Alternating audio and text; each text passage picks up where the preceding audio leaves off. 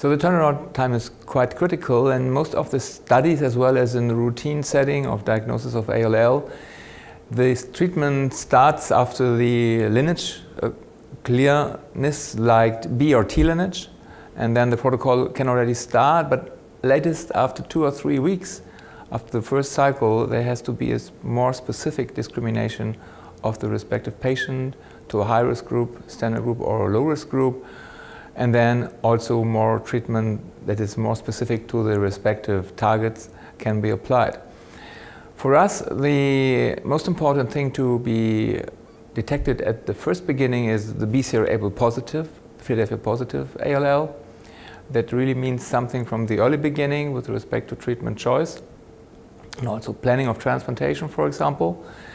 Then there's an increasing group that wasn't known some years ago, that's, that's called Philadelphia-like ALL. This is not so easy with respect to the diagnostic approach because uh, it's mainly based on gene expression profiling and that is not applied in a routine setting in most of the respective laboratories. But we can help us out with a combination of FISH probes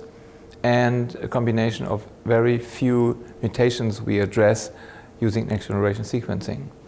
But in addition to that, there's a need for